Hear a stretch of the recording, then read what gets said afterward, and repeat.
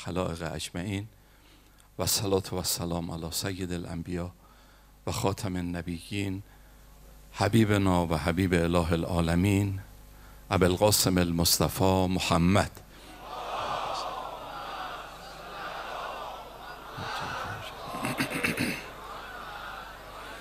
صلی الله علیه و علی آله الطیبین الطاهرین المعصومین و لعن دائم علی اعدائهم اجمعین. بحث در رابطه با یکی از راه های رفاقت با خدا یکی از راه های انس با خدا و حضور خدا در زندگی بود. دعا کردن و با خدا متعال از این طریق انس گرفتن. دعاها رو به ما گفتن با هر زبانی بخواید می‌تونید با همون زبان خودتون. به هر حال هیچ اشکالی نداره خدا زبان خاصی نداره. ولی در عین حال بهترین دعا دعاهای معصوره است. دعاهای معصوره یعنی دعاهایی که از اهل بیت به ما رسیده. این بهترین دعا. چون اونا بلد بودن چجوری با خدا حرف بزنن. ادب حرف زدن با خدا رو و چیز خواستن از خدا رو اونها بلد بودن. انصافا یکی از گنجینه هایی که در اختیار ماها هست و مکتب شیعه و اهل بیت این گنجینه رو داره. هیچ دین و مذهبی هیچ دین مذهبی این رو نداره. این دعا هست ببینید اینو دیگه هر کسی می‌تونه تحقیق بکنه. شما ادیان و مذاهبی که الان هستن رو تحقیق بکنید. کدوم یکی از ادیان و مذاهب؟ این نوع سخن گفتن این نوع حرف زدن با خدا این نوع دعا و نیایش رو کدوم یکی از ادیان و مذاهب داره؟ این فقط و فقط مال مکتب اهل بیت به برکت اهل بیت که این دعاهای نورانی دعای کمیل دعای ندبه دعای جوشن کبیر دعای عرفه دعای ابو حمزه مناجات شعبانیه. اینا فوق العاده است. به قول مرحوم آیت الله بهجت یه داروخانه است.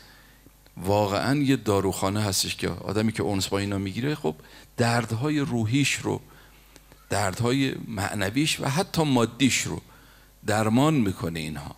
واقعا این چنین هست به تعبیر حضرت امام خدا رحمت کنه امام راحل رو از استادشون آیت الله شهابادی ایشون این تعبیر رو داشت که می‌گفت استاد ما می‌گفت که دعاها قرآن ساعد هستن. ببینید خود قرآن کریم کلام الله است که نازل شده. یعنی اصل قرآن که اصلا تو مخیله ما نمیگنجه که چی بوده. اصل قرآن تو عالم ربوبی بل هو قرآن مجید فی لوح محفوظ.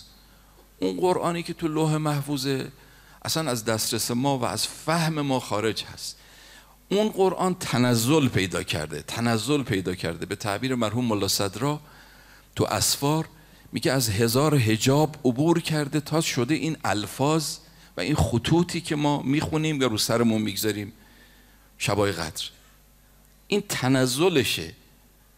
ببینید من فقط یه تشبیهی عرض می‌کنم شما ببینید تنزل یعنی چی؟ البته تا حدی تشبیه دیگه. شما نور خورشید رو خب همتون هممون دیدیم دیگه. خورشید وقتی که صبح طلوع می‌کنه با اون نور فراوان که به حال دنیا رو روز می‌کنه. تبدیل می‌کنه شب رو به روز.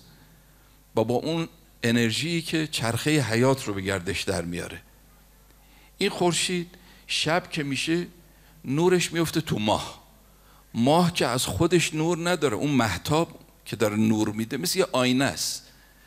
که تنزل نور خورشید یعنی یه نازله یه وجود ضعیف شدهش میفته تو ماه که شما شب دارید می‌بینید.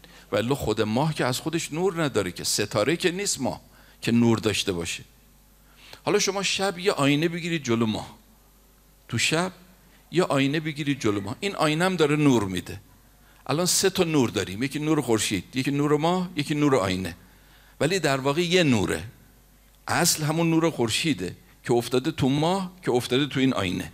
ولی ببینید هی تنزل پیدا می‌کنه هی نازل میشه. نور ماه چقدر ضعیفتر از خورشیده. چقدر ضعیفتره. خورشید که شب رو روز می‌کرد و چرخه حیات رو به گردش در می آورد اما نور محتاب ببینید خیلی ضعیفتر شده. اون نور آینه چی؟ آینه که از خودش نور نداره. اینم مال همونه دیگه. ولی دیگه خیلی ضعیفتر شده. دو تا هجاب برای خورشید به وجود اومده. یه هجاب ماه یه هجاب آینه. دو تا واسطه. دو تا واسطه ببینید چقدر ضعیف کرد مرحوم الله صدرا میگه اصل قرآن در عالم ربوبی در لوح محفوظ از هزار هجاب و واسطه تنزل پیدا کرده تنزل پیدا کرده. اومده پایین اومده پایین تا تبدیل شده به این الفاظی که ما می‌خونیم و این خطوطی که ما می‌بینیم. این تنزلشه. تنزل ببینید تعبیرات ان انا انزلناه نازل کردیم قرآن رو. این تنزل قرآنه که ما یه چیزی گیرمون بیاد. امثال بنده ای که تو عالم پایین هستم به واسطه این پله پله بتونم برم بالا. حالا مرحوم آیت الله شاه آبادی استاد حضرت امام میگو همونجور که قرآن کلام الله نازله که نزول پیدا کرده دعاهای اهل بیت کلام الله است که ساعده صعود می‌کنه. یعنی از این طرف میره بالا. از طرف اهل بیت. اینا رو زمین بودن دیگه. همون مزامین قرآنه همون محتواست. ولی از پایین میره بالا. پله پله میره بالا و اون کسی که باهاش همراه باشه با دعا معنوس باشه این رو هم می‌بره بالا. این رو هم می‌بره بالا. گفت نردبان آسمان است این کلام. هر که بر آن برشود آید به بام. هر که با این بره بالا میره رو بام قرار می‌گیره. به هر حال دعاهای معصوره یه خاصیت و اثر دیگری داره. من اینو عرض بکنم خدمتتون و تقاضا می‌کنم این رو خیلی عنایت بفرمایید. برادر بزرگوار خواهر بزرگوار. اگر کسی با دعاها معنوس بشه تحت تربیت اون امامی قرار می‌گیره که اون دعا رو برای ما آورده. یعنی شما وقتی که فرض کنید به عنوان مثال دعای کمیل می‌خونید الان تحت عنایت و سر سفره امیرالمومنینید. چون دعای کمیل مال امیرالمومنینه دیگه کلام امیرالمومنینه. شخصیت امیرالمومنین تجلی کرده تو این کلامش. خود هست امیر تو نهج البلاغه میگه هر کسی تو اون کلام خودش میریزه خودشو بیرون. المرء مخبوع اون تحت لسانه. انسان وقتی حرف می‌زنه شخصیتش میره تو کلامش میریزه تو کلامش. همونی که سعدی گفت تا مرد سخن نگفته باشد ای به هنرش نهفته باشد. وقتی که حرف می‌زنه آدم فیلسوف آدم از حرفاش می‌فهمه که این عالمه. آدم عارف از حرفاش می‌فهمه. ببینید شخصیتش گویی یه جوری تنزل کرده تو کلامش. آدمی که مثلا فرض کنید به عنوان مثال فیزیکدان هست یه جور حرف می‌زنه. آدمی که بی سواده کاملا آدم مشخصه. می‌فهمه که این حرفا خیلی پروپایی نداره. آدم با سواد یه جوره آدم بی سواد یه جور. آدم شجاع شخصیتش یه جور تو کلامش میریزه. آدم ترسو یه جور میریزه تو کلامش. عنایت بفرمایید. کلام هر کسی معرف شخصیت اوست. شما وقتی که دعای کمیل رو دارید می‌خونید این کلام امیرالمومنینه. دعای کمیل از دولب مبارک امیرالمومنین صادر شده دیگه. یعنی با شخصیت امیرالمومنین الان مواجهید. البته اون نازله شخصیت امیرالمومنین تنزل پیدا کرد. وقتی دعای عرفه می‌خونید با شخصیت امام حسین علیه السلام مواجه هستید. تنزل شخصیت امام حسین تو دعای عرفه است. وقتی دعای ابو حمزه می‌خونید با امام سجاد علیه السلام. وقتی زیارت جامعه کبیره می‌خونید با امام هادی علیه السلام. ببینید کلام هر کسی تجلی و ظهور شخصیت اوست تنزل شخصیت اوست. خب وقت وقتی سر سفره این امام نشستی او تربیتت می‌کنه. به اندازه لیاقت خود ما. چی کار می‌کنه؟ تصرف می‌کنه. تو خواسته های ما تو خواسته های ما. و به واسطه این تصرف ما رو رشد میده من این احتیاج به مقدار توضیح داره که خدمتتون عرض می‌کنم که اون وقت آدم بیشتر بهره بند بشه و استفاده بکنه از دعاهای اهل بیت. اگه بدونی که این دعاها با آدم چی کار می‌کنن؟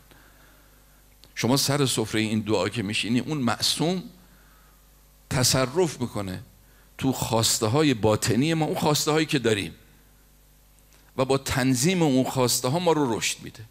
ببینید توضیحش این هست. که اگر شما می‌خواید حد و اندازه کسی رو بشناسید اگه می‌خواید ببینید که این سطحش چقدره ظرفیتش چقدره ببین خواسته هاش چیه. ببین آرزوهاش چیه. از آرزوهای هر کسی میشه فهمید که اون آدم آدم بزرگی یا آدم کوچیکیه. حد و اندازه آدما از خواسته ها از آرزوهاشون فهمیده میشه. آدم های بزرگ خواسته هاشون هم بزرگه. سطح خواسته ها و آرزوهاشون بزرگه. آدم های کوچیک خواسته هاشون هم کوچیکه. سطح آرزوهاشون هم پایینه. کوچیک هستش. به تعبیر امیرالمومنین قدر الرجل علا قدر همته. قدر و اندازه هر کسی به اندازه اون چیزی است که دنبالش میدوه. دغدغه داره می‌خواد بهش برسه. آرزوشه. گفت بلبل به باغ و جغد به ویرانه تاخته. بلبل جاش تو باغ دیگه. اما جغد به همون ویرانه و خرابه راضی هست. حدش همون قدره. بیشتر از اون نمی‌خواد. بلبل به باغ و جغد به ویرانه تاخته. هر کس به قدر همت خود لانه ساخته. هر کسی این شکلیه دیگه. یه کسی هستش تمام هم غمش دوتا رو چارتا کردن چارتا رو هشتا کردن هشتا رو شونزد تا همش تو محاسبات و تو اینجور چیز هست یه کسی هم حد و اندازهش این هستش که من چیکار بکنم امام زمان از من راضی باشه؟ چیکار بکنم گره از زندگی یه کسی باز بکنم؟ چیکار ببینید این چقدر بزرگه. این چقدر بزرگه. چقدر آدم حد و اندازه هاشون با هم فرق می‌کنه. اینکه هم غمشون چیه؟ دغدغه‌شون چیه هستش؟ باز امیرالمومنین علیه السلام در یه جمله دیگری که در روزه کافی اومده فرمود من کانت همته بطنه کسی که تمام هم غم شکمش باشه. من کانت همته بطنه کانت قیمته ما یخرج من این چون تعبیر امیرالمومنین من ترجمه می‌کنم دیگه. قیمتش همون نیست که از شکمش خارج میشه. قیمتش همون نیست. هم غمش شکمش قیمتش همون نیست که از شکمش خارج میشه. و من کانت همته آخرته. اما کسی همتش آخرت باشه کفاه الله همه من دنیا خدا کفایتش می‌کنه دنیاش رو هم تأمین می‌کنه. کسی که دنبال صده نود هم گیرش میاد. کسی که دنبال بالاتره اون پایین رو تأمین می‌کنن. خدا میگه بابا تو اینقدر افقت بلنده. خب من که نمی‌زنم تو زقت من فراهم می‌کنم. یا آقایی بود بگفتش که من هر سال سه روز تو کل سال رو می‌رفتم مشهد. هر سال اینجوری بود سه روز. این سه روز هم برنامهم این بود که تو روز می‌گرفتم اون محل اسکانی که داشتم. حالا یا میخوابیدم یا مطالعه می‌کردم. حتی شب می‌رفتم کلا تو حرم تا صبح. این سه شب. شب سوم که رفتم رفتم مسجد بالاسر. تا الان دیگه حالا مسجد بالاسر دیگه خیلی جایی نداره. حالا قبلا که جمعیت کمتر بود یه مقداری گفت مسجد بالا سر کنار زریح. میگه اونجا رفتم برای اینکه دو رکعت نماز زیارت بخونم. دیدم بغل دستم یه آقایی هست عجب حالاتی داره. اصلا انگار مغز استخونش داره گریه می‌کنه. حالات او من رو هم منقلب کرد. میگه بهش گفتم التماس دعا. البته این چیز خوبی نیست آدم وقتی یکی داره گریه می‌کنه بهش بگه التماس دعا. حالشو می‌گیره. مرحوم آیت الله بروجردی تو حرم است معصومه سلام الله علیها. داشت زیارت می‌کردی که اومد بغل ایشون گفت حاج آقا التماس دعا.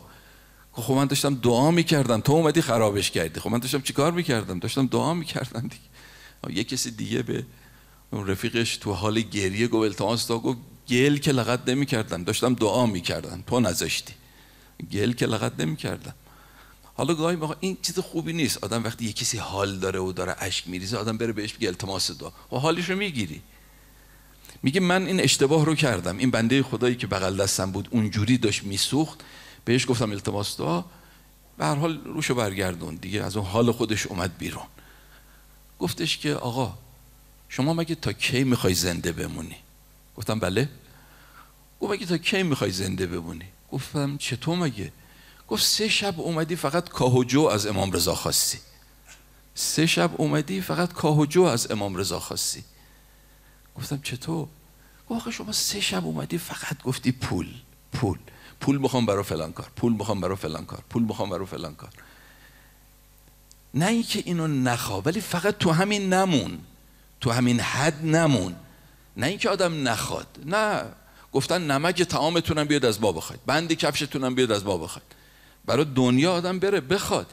ولی فقط تو همین نمونه فقط تو همین حد نمونه. تو سه شب فقط اومدی اینو خواستی. بعد خودش گفت اون بنده خدایی که کنار من نشسته بود گفت من حدود شاید چهل سال هست که هر سال میام حرم امام رضا علیه السلام. یکی دو ماه میمونم. یکی دو ماه می تو طول این چهل سال حدودا کمتر بیشتر تو طول این چهل سال یک بار از امام رضا علیه السلام دنیا نخواستم. فقط یه مرتبه بود. و اونم یه مرتبه بود که اومدیم خانومم به من گفت حاجی پول تموم شده.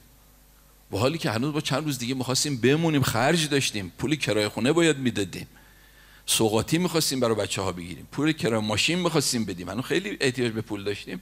هنوز وسطاش خانم اومد گفت حاجی پول تموم شد. گفتم پاشو بریم حرم. گفتم پاشو بریم حرم. با خانومم اومدیم حرم. با هم یه قراری گذاشتیم که مثلا یه ساعت بعد بیا با هم دیگه همینجا وایسی. اون رفت تو قسمت خانوما منم رفتم داخل. رفتم جلو زری وایسادم گفتم یا امام رضا من فقیر نیستم. خودت می‌دونی من تو شهرم پول دارم. اما کم آوردم. یه صد هزار تومن. صد هزار تومن مثلا سی چهل سال پیش ها صد هزار تومن اون موقع که شاید چند میلیون الان می‌شد. شاید که نه حتما. گفتم آقا یه صد هزار تومن قرض ازت بخوام. یه صد هزار تومن قرض به من بده. من رفتم شهرم به نیت شما میدم به فقرا. به نیت شما صدقه میدم. اینو به امام رضا علیه السلام گفتم. و بعد اومدم بیرون. دیگه تقریبا همون ساعت بود سر قرار. وقتی اومدم دیدم خانومم وایساده یه کیف پول دستشه. گفتم این چیه؟ گفت نمی‌دونم این اینجا افتاده بود. من رو کردم به حرم امام رضا به زری رو کردم. گفتم آقا ما از خودت پول خواستیم. این که مال مردمه. این که کیف یه کسی گم شده. این که مال مردم هستش. میگه چند دقیقه همونجا وایسادیم میگه بنده خدای اومد. گفت اینجا یه کیف پیدا نکردید مشخصات رو پرسیدیم دیدیم همینه کیف اینه بهش دادیم. خواست یه مجدگانی به ما بده. گفتم نه. ما کاری نکردیم. چند دقیقه فقط این کیف رو نگه داشتیم. کاری نکردیم که. اونو بهش دادم. فهمیدم این اون حواله امام رضا این نیست. با خانومم اومدیم فلک آب. رسیدیم به فلکه آب. یه بنده خدای اومد به من گفتش که آقا شما پول نیاز نداری. یه پیرمردی بود. اومد گفت آقا شما پول نیاز نداری. گفتم چرا؟ اگر میشه صد هزار تومن به من بده شما را حسابتم به من بده. وقتی برگشتم شهرم من واریز می‌کنم تو حسابت. گفت نه. شما 500 هزار تومن پیش من داری. 500 هزار تومن پیش گفتم 500 هزار تومن گفت بله 500 هزار تومن شما حواله داری. گفتم از کی؟ گفت از این آقا. رو کرد به رضا. گفت از این آقا. بعد یه نشونه هایی داد دیدم این دقیقا همون پلیس که مال امام رضاست. این همون. من فقط همون یه بار از امام رضا خواستم. اما شما سه شب داری میای فقط داری پول پول می‌زنی. فقط داری در همین حد میمونی. شما تو تشرفاتی که کسانی خدمت امام زمان علیه السلام رسیدن حالا یا شنیدید یا جایی تو مطالعه کردید و خوندید. تو تشرفات اگه نگاه بکنید بسیاری از این تشرفات حالا اونایی که راسه ها حالا اونایی که واقعا خدمت حضرت رسیدن ها حالا اونا رو ما داریم میگیم. بسیاری از این تشرفات طرف وقتی می‌رسه با کلی زحمت و ریاضت و ختم و چله و فلان وقتی می‌رسه خدمت هست ولی از علیه السلام آقا گلوم درد می‌کنه اگه میشه گلوم شفا. آقا خونه ندارم. اه. خب گلو درد می‌کنه برو دکتر. یعنی این همه زحمت کشیده اومدی خدمت امام زمان فقط همینو بخوای. فقط در همین حد. آخه آدم خدمت حضرت برسه. فقط همین حد ازش بخواد. بعضی همینن دیگه. یا آقای تو قوم الان هم زنده است. سنی ازش گفت. واقعا از خوبان از صلحا هستش. ایشون می‌گفت من جوان که بودم پنجاه سال پیش. جوان که بودم تو مدرسه فیزی و حجره داشتم. ارتباطم با امام زمان علیه السلام خیلی خوب بود. خیلی حالات خوشی داشتم. خیلی حالات خوشی داشتم. یه مرتبه از جهت مالی وضعم خیلی خراب شد. طوری که مایحتاج اولیه زندگیمو نداشتم. شروع کردم توی لیست توی کاغذ لیست نوشتن برای امام زمان که چی می‌خوام. چند کیلو روغن چقدر برنج چقدر مثلا گوشت نخود لوبیا قند شکر اینا رو شروع کردم. ما آخرین قلم بود. یعنی آخرین چیزی که می‌خواستم. دیدم در می‌زنن. دیدم در حجره رو دارم می‌زنن. میگه رفتم دم در. دیدم یه آقایی هستش که عبا رو سرش کشیده. خیلی چهرش پیدا نیست. عبا رو سرش کشیده یه کیسه بزرگی رو گذاشت جلوی حجره من. گفت این اون چیزایی که می‌خواستی. این اون چیزایی که می‌خواستی. اما امام زمان رو فقط برای این چیزا نخواهید. برای چهار کیلو روغن و گوشت و برنج و اینا امام زمان رو نخواهید. امام زمان بالاتر از این است که فقط برای این چیزا او رو بخوایم. این بنده خدا این بزرگوار این عالم بزرگوار که عرض کردم الان هست میگه دقت کردم تو چهرهش ببینم کیه. که عبا رو سر دیدم حاج آقا فخره. برام حاج آقا فخر تهرانی از خوبان و اولیا خود 17 18 سال پیش از دنیا رفته بود. با مرحوم آیت الله مرعشی نجفی آیت الله بهاءالدینی خیلی رفیق بودن. دیدم او این کیسه رو از طرف امام زمان حواله آورده و این درس رو به من داد. که امام زمان فقط برای چهار کیلو روغن و برنج و گوشت نخواهید. حد و اندازه آدم ها اینجور. و حالا شما ببینید می‌خوام نتیجه بگیرم. اگه آدم با دعاهای اهل بیت معنوس بشه وقت اهل بیت یادش میدن چی بخواد. یعنی تصرف بکنن تو خواسته های آدم. تو این نیازهای آدم تصرف می‌کنن. عرض کردم دیگه حد و اندازه هر شخصیت به آرزوهاشه به اون خواسته هاشه های بزرگ خواسته هاشون بزرگه. های کوچیک خواسته هاشون هم کوچیکه. حالا وقتی با اهل بیت معنوس بشی با دعاها اونا یاد میدن که چی بخواه اونا تربیت می‌کنن و خواسته های آدم رو بزرگ می‌کنن. یعنی در واقع خود آدم رو بزرگ می‌کنن. در واقع ظرفیت میدن به آدم. شما دعای کمیل رو ببینید. الهی و سیدی و مولایی صبرت علا عذابک و کیف اصبر علا فراغک. خدایا عذاب تو تحمل بکنم فراغ تو چجوری تحمل بکنم؟ ببینید امیر المومنین چی یاد آدم میده؟ میگه بالاترین جای سوزش بالاترین جهنم تو آخرت جهنمی که آتیش هست نیست. با اینکه اون آتیش رو کسی نمی‌تونه تحمل بکنه. ولی اون بالاترین جای جهنم نیست.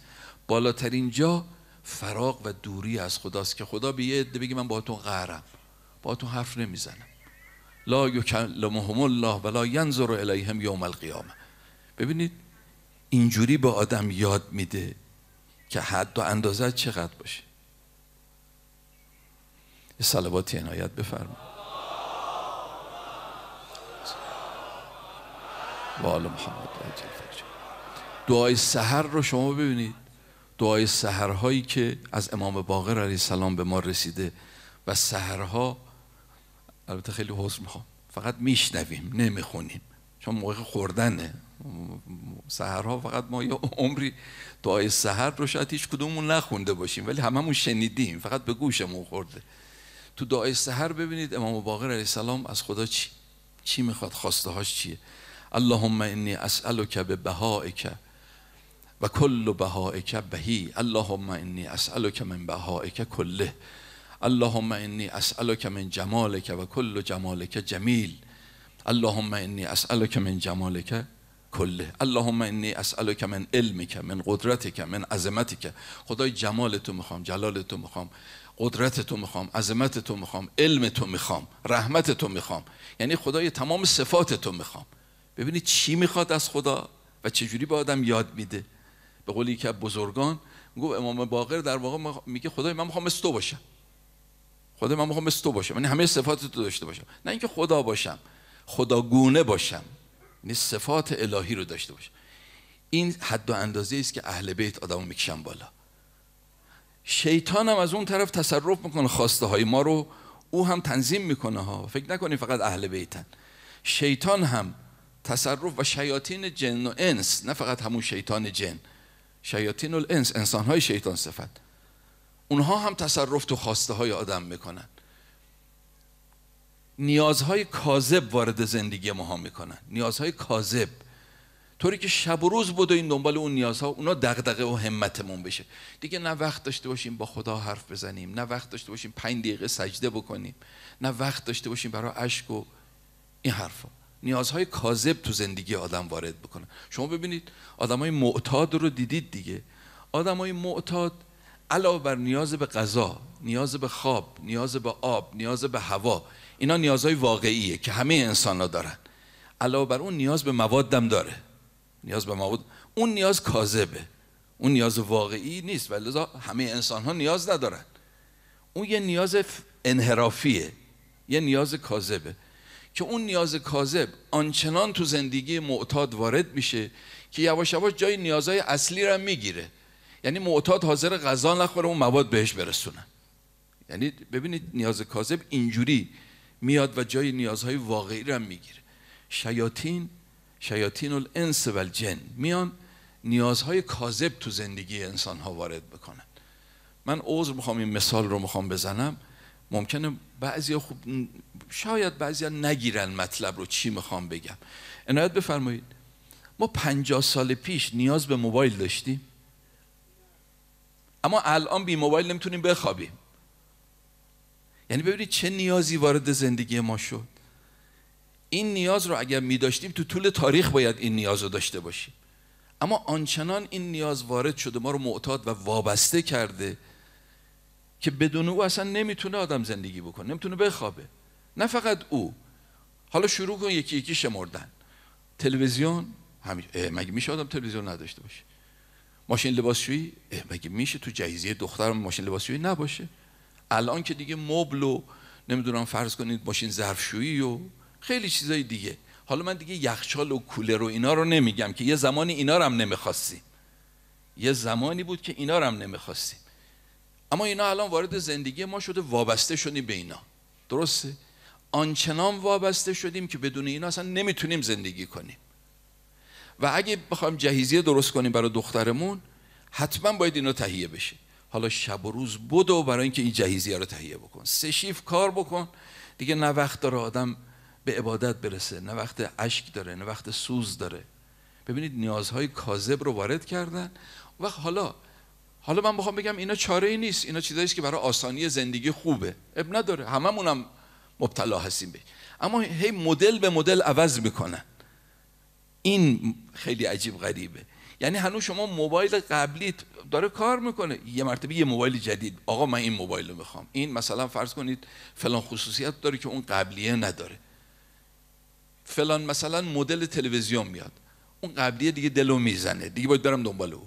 می‌رسی به او خود تو میرسونی به او یه مدل دیگه میاد. دائم باید بدویی دائم بود بدویی گفت جان همه روزه لگت کوب از خیال و زیان و سود و از خوف زوال. نی صفا میماندش نی لطف و فر نی به سوی آسمان راه سفر. ما رو بستن به زمین.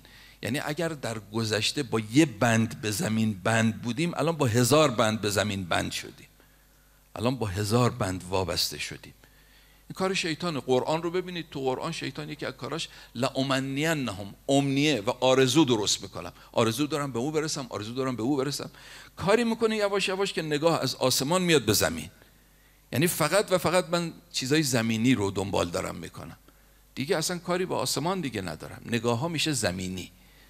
اما اهل بیت برعکس اگه با دعاهاشون معنوس بشی حتی همون چیزای مادی و زمینیت رو همون نیازهای مادیت رو رنگ آسمانی بهش میدن. ما نیاز داریم به خوردن خوابیدن پوشیدن همه اینا رو نیاز امیرالمومنین علیه السلام ببینید چی یاد میده. دعای کامل. قو علا خدمت که جوارهی خدای من بخورم. بخوابم. اما برای اینکه قدرت پیدا کنم که در خدمت تو باشم. قدرت پیدا کنم در خدمت مردم باشم. ببینید چقدر قشنگ. همون خوردن و خوابیدن ها میگه اینجوری بخواه. اب نداره. بخواه که خدای قضام فراهم بشه چیزای مادی فراهم بشه. برای که بهتر بتونم خدمت کنم. این نیاز رو تبدیل می‌کنه یه رنگ الهی بهش بهش میده. یا امام سجاد علیه السلام و امرنی ماکان عمری بزلت فیدا خدای به من طول عمر بده. خب طول عمر بدم که چی؟ آدم بچره خیلی عضو می‌خوام. بچره تو زمین فقط. نه. و امرنی ماکان عمری بزلت فی خدای به من طول عمر بده بتونم بیشتر بندگی تو بکنم. بیشتر خدمت بکنم به دیگران. ببینید حتی نیازهای مادی آدم رو رنگ آسمانی میدن. اینجور آدما که خواسته ها و آرزوهاشون بزرگ شد در واقع خودشون بزرگ شدن. خودشون بزرگ شدن. و خدا به اندازه ظرفت تو کاست میریزه. وقتی ظرفت بزرگ بشه خدا بیشتر توش میریزه. وقتی خواسته هات بزرگ شدن یعنی خودت بزرگ شدی خدا بیشتر بهت میده. و الا اون کسی که فقط دنبال دون و نون و لونه و اینجور چیزاست که این که نمی‌تونه زانو به زانوی امیرالمومنین علیه السلام باشه که. این که نمی‌تونه زانو به زانوی امام زمان از یاران خاص امام زمان. مگه من چی هستم که از یاران خاص امام زمان باشم؟ من یه چیزی رو آخر جلسه عرض می‌کنم بحثم تمام.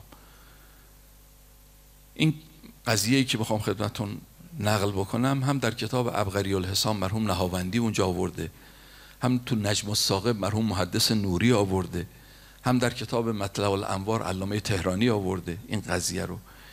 خلاصش این هستش که یه شخصی بوده در بسره عطاری داشته. عطاری داشته و به هر حال از اون قبیل اجناس رو میفروخته. یه مرتبه میگه دو نفر اومدن در مغازه من برای خرید صدر و کافور و اینجور چیزا. میگه این دو نفر رو وقتی من نگاه کردم دیدم اینا اصلا مال این حوالی نیستن. اصلا تیپشون یه تیپ دیگه است چهره ها نورانی زیبا نوع حرف زدن خیلی حرف زدن معدب. فهمیدم اینا مال اینجاها نیستن. گفتم که شما کی هستید؟ گفتن بندگان خدایی هستیم که به هر حال اینجا اومدیم راهمون افتاده از شما چیزی بگیریم. گفتم که شما مال این طرفان نیستید. قسمشون دادم. گفتم اگر میشه خودتون رو معرفی کنید. گفتن که خب چه فایده برای شما داره؟ قسمشون دادم. کلی باشون کلنجار رفتم. چون این آدم این اتار آدم متدینی بود. اون دو نفر گفتن که ما از یاران حضرت ولی اس علیه السلام هستیم. یکی دیگه از یاران امام زمان از دنیا رفته برای غسلش احتیاج به صدر و کافور هست. به ما گفتن از شما بیایم بخریم. چون آدم خیلی متدین و حلال خوری بود. بیایم از شما بخریم. من تو پرانتز عرض بکنم. یک کتابی است رفقایی که می‌خواید دنبال چیزای ناب میگردید. به نام سر دلبران. سر دلبران. آیت الله شیخ مرتضای حائری. مرجع تقلید فوقلاده با عظمت. استاد مقام معظم رهبری. آیت الله شیخ مرتضای حائری. ایشون خاطراتش تو این کتاب هست ملاقات هایی که با یاران امام زمان داشته. ملاقات هایی که با یاران امام زمان علیه السلام داشته. در هر زمانی از بعضی از روایات هم برمیاد. سی نفر دور امام زمان رو گرفتن. این سی نفر غیر از اون 313 نفر هنگام ظهورن. نه اینا مال همین زمان ها تو هر زمان بعضی از بزرگان ما گفتن خیلی بیشترن 450 60 نفرن. دور امام زمان رو گرفتن حلقه حلقه یعنی درجه بندی شده. چهار نفر حلقه اولن. هفت نفر مرتبه بعدی هن. همینجوری تا مراتب بعدی. اینا معموریت هایی که حضرت بهشون میده تو دنیا معموریت ها رو میرن انجام میدن. خیلی از کسانی که حاجت داشتن. مثلا فرض کنید مریض داشتن و توسل به امام زمان کردن. بعد دیدن یه آدم بزرگی اومده کارشون رو راه انداخته خدمت این یاران رسیدن. خیال کردن خدمت امام زمان رسیدن. خدمت این یاران رسیدن. چون اینا اومدن کارشون رو راه انداختن خیال کردن خدمت حضرت هستن. تو این کتاب سر دلبران آیت الله شیخ مرزای حائری ملاقات های خودش با بعضی از این یاران رو ذکر کرده. پرانتز بسته. اینا گفتن که به این اتار که مال بسره بود گفتن ما از یاران است ولی از علیه السلام هستیم که اومدیم صدر و کافور تهیه بکنیم. ایشون میگه تا این رو گفتن من دلم ریخت. گفتم خب عاشق امام زمان بود دوستدار امام زمان بود. گفتم که اگه میشه من رو هم خدمت حضرت ببرید. گفتن نه خیر ما همچین معموریتی نداریم ما فقط اومدیم خرید بکنیم از شما. قسمشون دادم گفتم اگر میشه من رو ببرید. نزدیکی های اون جایی که حضرت هست. اگه حضرت اجازه داد من خدمتش می‌رسم. اگه اجازه نداد خب برمیگردم. منو ببرید تا نزدیکیاش. گفتن باش من سریع در مغازه رو بستم دنبال این دو نفر را افتادم. وقتی اومدم یه قسمتی بود باید از حالا یا دجله یا فرات باید از شط باید عبور می‌کردیم. نه قایقی بود نه بلمی بود هیچی نبود. میگه دیدم که این مندگان خدا خواستم پاشون رو آب بذارن برن. من گفتم که خب اینجا چیزی نیست که بخوایم از روش رد بشیم. گفتن که بسم الله بگو توسل کن به امام زمان و از رو آب رد بشیم. من تو پرانتز باز ارز کنم پیغمبر فرمود که اگر یقینتون زیاد بود لمشیتم علی الماء رو آب را می‌رفتید. ما الان رو زمین را میریم چون خاطرمون جمعه. رو آب چون اون توکل رو نداریم. میگیم اونجا خدا نی. اونجا خدا نیست میرم پایین. رو زمین نه خودم بلدم راه برم دیگه احتیاج به خدا نیستش ببینید اینجوری دیگه آدم. تو هواپیما که به هیچ جا بنی بسم الله الرحمن الرحیم. الله لا اله آیت الکرسی نمی‌دونم دعای سفر هر چی بلدیم می‌خونیم. اما تو تاکسی که میشینیم بسم الله معلوم نیست بگیم. تاکسی دیگه خطر نداره که. آقا جان همین تاکسیش هم اگر خدا نخواد نمی‌تونی برسی به مقصد. همین زمینی که زیر پات سفته اگه خدا نخواد از آب هم شلتره. آنچنان یه مرتبه به هم میریزی که هیچی ازت نمونه. همین زمین الان با چه سرعتی تو کهکشان داره حرکت بکنه؟ شما الان همتون می‌دونید دیگه این زمینی که ما الان روش انقدر آروم نشستیم با چه سرعتی داره دور خودش میچرخه دور خورشید داره میچرخه و تو کهکشان داره حرکت می‌کنه. اما حس نمی‌کنی. همون خدایی که این زمین رو نگه داشته و آرامش کرده آب رو هم می‌تونه. به شرطی که آدم یقین داشته باشه. بهش گفتن شما بسم الله بگو و توسل به امام زمان. پاتو بذار رو آب. میگه من جوگیر شدم این دوتا رو دیدم که اینام اینجوری هستن. بسم الله گفتم گفتم یا صاحب زمان رفتیم رو آب. میگه همینجور که رو آب داشتیم می‌رفتیم نم نم بارون شروع کرد اومدن. یه مرتبه یادم افتاد ای داد من دیشب صابون درست کردم پنگ کردم رو پشت بام که خشک بشه. الان این بارونا همه اونا رو خراب می‌کنه. تا این به فکرم اومد رفتن تو آب. این بندگان خدا زیر بغلامو گرفتن آوردن اون طرف گفتن چی شد؟ گفتم حالا هیچ. رفتیم. تا یه جایی ما رو بردن گفتن اون خیمه ای که اون قسمت هستش مال امام زمان علیه السلام. همینجا باش ما از حضرت اجازه بگیریم. اگه اجازه دادن وارد شو. میگه من بودم. اینا رفتن. من یه مقدار رفتم جلوتر ببینم صدای چیزی میشنوم. رفتم جلوتر اینا گفتن که آقا اون فردی که ما رفتیم ازش صدر و کافور و اینجور چیزا گرفتیم. خیلی ما رو قسم داد که بیاریم ایشون رو خدمت شما. حضرت فرمود نه. ردوه فانه رجل صابونی. رو برگردونیدش اون فعلا صابونیه. اون فعلا تو فکر صابون ببینید خوبه نیاد بفرمایید نگید که آقا خیلی سخت گیره دیگه. هیچ ران این می‌خواست از یاران خاص حضرت باشه. این می‌خواست جزو اون سی نفر باشه. اون یاران یارانی هستن که اینجوری نیستش که هم و غمشون چیز دیگری غیر از امام زمان باشه. این رو این جهت حضرت فرمود ردوه فانه رجل صابونی. هنوز تو فکر صابونش. گفت هیلت رها کن عاشقا دیوانه شو دیوانه شو. و در دل آتش درا پروانه شو پروانه شو.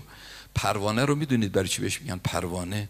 چون وقتی می‌خواد خودشو بزنه با آتش پروا نه پروایی نداره. خودشو می‌زنه با آتش. عاشقانه. پروانه شو پروانه شو. رو سینه را چون سینه ها هفتاب شوی از کینه ها. وانگه شراب عشق را پیمانه شو پیمانه شو. بنواخت نور مصطفی آن استون حنانه را. پیغمبر وقتی سخنرانی می‌کرد به یه ستونی به نام ستون حنانه تکیه می‌داد. اصحاب دیدن آقا خسته میشه بخواد رو پا وایسه. یه منبر دو پله برای حضرت درست کردن که پیغمبر بیشینه روش. تا پیغمبر روش نشست اون ستون اون ستون حنانه ناله ای زد که اونایی که اهل گوش بودن شنیدن. ناله ای زد که پیغمبر تا الان به ما تکیه می‌داد. دیگه الان رفیق ما رفت. بنواخت نور مصطفی آن استون حنانه را. کمتر ز چوبی نیستی. او رفیق شد. کمتر ز چوبی نیستی. حنانه شو حنانه شو. باید که جمله جان شوی تا لایق جانان شوی. گر سوی مستان می روی مستانه شو مستانه شو. صلوات عنایت بفرم